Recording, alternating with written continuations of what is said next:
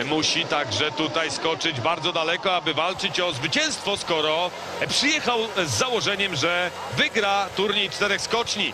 Znowu będą dodawane punkty, bo nastąpiła, e, obniżo, nastąpiło obniżenie belki startowej do 10, a więc 7,4 punkty dodane e, do noty za skok. Teraz Gregor Schlierencauer. Na razie jeden wygrany w tym sezonie konkurs. No a ta próba Austriaka słaba, słaba, bardzo słaba. Biorąc pod uwagę to, o czym mówiłem, by włączyć się do walki o zwycięstwo w całym turnieju czterech skoczni, e, musiał tutaj osiągnąć dużo lepszy wynik, a on uzyskuje tylko 103,5 metra. Wszyscy sędziowie dają 16,5 punktu. Będzie miał sporo punktów dodanych za wiatr i za e, obniżoną belkę startową, no ale które to mu będzie dawało miejsce? Bardzo dalekie miejsce po pierwszej serii będzie zajmował Gregor Schlierencauer. Trochę zdziwiony Marco Grigoli, no bo niewiele brakowało, a mógłby tę rywalizację e, w parze wygrać. 18 miejsce